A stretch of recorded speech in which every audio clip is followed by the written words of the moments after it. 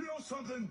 Usually when I'm in Madison Square Garden, I'm body slamming giants. I'm winning world heavyweight titles and I'm cracking people over the heads with steel chairs.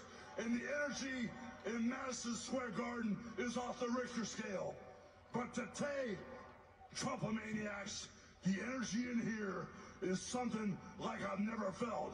The energy of all these Trumpamaniacs is the most powerful force in the universe. And today, this is Donald Trump's house, brother.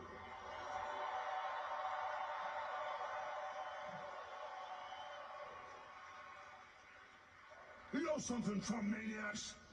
I don't see no stinking Nazis in here. I don't see no stinking domestic terrorists in here. The only thing I see in here are a bunch of hard-working men and women that are real Americans, brother.